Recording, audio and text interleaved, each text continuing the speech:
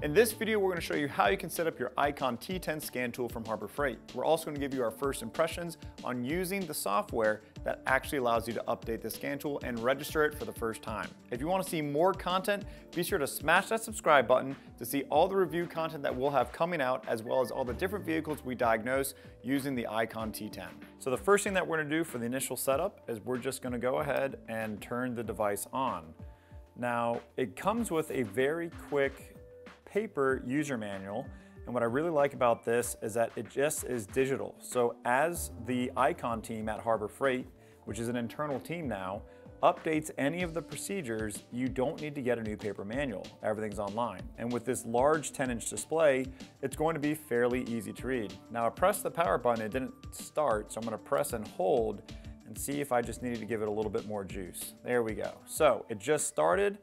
And I can see here that I have my activation code and this is private and confidential. So hopefully the guy Jason who edits all of our content has blurred this stuff out so you don't know my serial number or my private and confidential number. So I'm gonna go ahead and open this up, just tearing on the perforated edges while the icon boots up.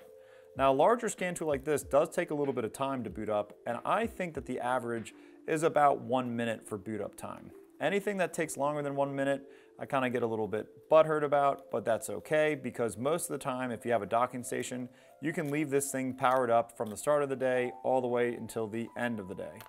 So at this point here, what I'll do is I'm just gonna go ahead and click on the icon, which is going to bring us up here. And as you can see, it looks just like the T8 does on the home screen, except where it has the battery system test and the inspection camera, as well as a cool little toolbox icon here. So it should give us the opportunity to do an update, and I'm wondering if I click update, if it will tell me that I need to register first. It does. So I'm gonna just go right to register, and I'm gonna make a username and password, so don't look anymore. All right, so the first thing you're supposed to do, apparently, before you start registering your scan tool is connect it to the internet, which makes sense. If you're going to update, you'd probably do that. So I'm just gonna go ahead and press and hold on this, and this is clearly a Android style tablet, and I'll just go ahead and turn on the Wi-Fi and get set up on one of the networks that we have here in the shop. I'll do Team Revit, and don't look at our password. Now that we've obtained the IP address and we're connected to the internet, I'm gonna press the tab page at the bottom of the screen and swipe right back over so that we can get our CAPTCHA screen. So I'm just gonna go ahead and click refresh and I have my code. I'm not a robot. I did not read the service agreement or privacy policy, but that's all I can do. Now it's just asking me to do the product serial number. Oh, now I get to put in all of the company details. So I'll put in our shop name as Revit Auto. And because this is the Damascus location, I'm gonna put the dash in there and put in Damascus. Our address, if anyone wants to come over, you can Google it. And I'm assuming that it wants all this information for when you are generating reports and you're going to email those over. The touchscreen is very responsive and it's super fast and not laggy, which I thoroughly enjoy. And they put United States at the top for us, which makes it really easy. Let's see if we can get this to work. And wow, it even wants our company website. They are doing a good job here at getting all of your information. Now, whether they're gonna be using it for the powers of good or evil, I won't know. But like I said, I think that this is all for those pre and post scans that insurance companies like. Now, we don't have a fax, but what I can do here for the emails, I'm just gonna do info at revit.com. Wow, it even has our hours. All right, well, we are open. We actually open at 8 and we close at 5. Now those are our standard hours, Monday through Friday. So I guess I'm gonna have to go through and edit each day individually, which would have been great if I could just select apply all, but instead of complaining, I'm just gonna do this because maybe you don't have the same hours every day. Maybe you figured out a way to only work Tuesday, Wednesday, and Thursday. And the rest of the time you're out enjoying your life. I haven't figured out that secret yet.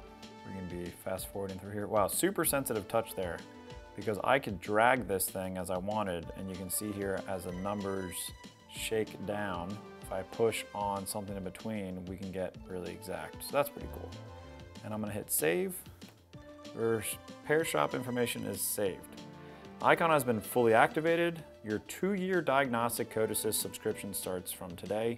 Do you want to download the new software? Of course. The Icon app update is here. Do you want to update now? An app restart is required, so we'll just go ahead and click now. And it looks like it's upgrading the APK files, which is great, which is just your application. And it seems like it's working pretty quickly, which is awesome because sometimes our internet is not the best. Do you want to install an update to this built-in application? Existing DLBLS, I'm just gonna click install. And it's gonna restart our application, which it told us initially. And we'll go ahead and click open. What a nice logo. Alrighty, so now we're gonna go ahead and update our scan tool. Let's go to our toolbox and let's go to update.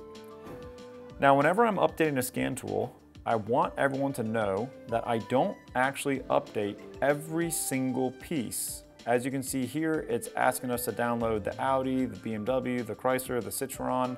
I actually don't want to update all of that. So I'm gonna go ahead and pause it.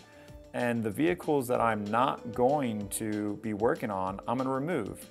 So if I find a vehicle that's here that I'm not gonna be actually servicing, I'll go ahead and remove it so that I don't have any added bloat software, which is going to cause my scan tool to operate more slowly. So I'm just gonna go ahead and let it go through. But what I'm actually gonna do is I'm gonna download everything and see how well this thing does when it's fully loaded down so that in the review video, we can see and load test it as hard as possible. But if you're using this for yourself, be sure to only install and update what you're actually going to use because it is going to cause additional storage that you will not likely ever use. And again, for testing purposes, we're gonna go ahead and just let everything get downloaded and resume. As you can see here, we've got our cameraman Jamie, who's getting super famous on this video. And it shows here it has 37 upgradable units, 32 have been selected, three are currently downloaded, five have already been completed and installed. There's been zero errors and we are 62% complete. It also shows us up here in the right hand corner that our expiration date is for two years from now, and today is August 16th, 2026. So yes, we actually got this scan tool three days before its official release, and that is because Harbor Freight sent this unit to us for some testing. So now that it's said that we have successfully installed the updates, I'm gonna go ahead and start using the little pen stylus here so I stop putting smudge marks on. So now it asks if we want to enter the diagnostic pack, the diagnostic app. I'm gonna actually press cancel and I'm gonna go back to our toolbox here. I'm gonna go back to our update and I'm gonna hit refresh. And the reason I like to do this is you never really know if it's fully up to date until you have gone through and done this. I will also close out of the application and retest. Um, so we'll just go right back to the toolbox, check for an update, and now we can confirm that we are fully up to date because there is nothing for us to go through everything has been completed and you see on the upper left hand corner it says up to date. So now we can go ahead and test this on our first vehicle. So if you want to see that, be sure to smash the like and subscribe button so you can be up to date with all the review content that we put out on the Icon T10.